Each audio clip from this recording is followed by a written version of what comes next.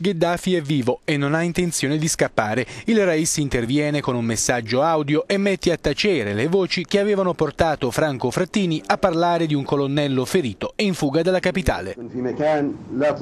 Sono in un posto in cui non potete raggiungermi perché vivo nel cuore di milioni di libici. Anche se uccidete il mio corpo, la mia anima resterà nei loro cuori. Anche il portavoce del regime si è affrettato a rassicurare sulle condizioni di Gheddafi.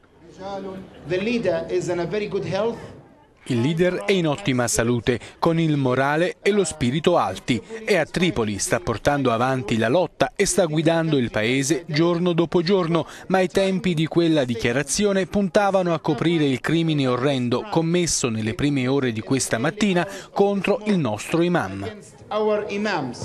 La Corte Penale Internazionale chiederà tre mandati di arresto per Gheddafi, il figlio Saif e il capo dei servizi segreti per crimini contro l'umanità. La Nato invece ammette di aver autorizzato il raid su Brega nel quale hanno perso la vita 11 persone.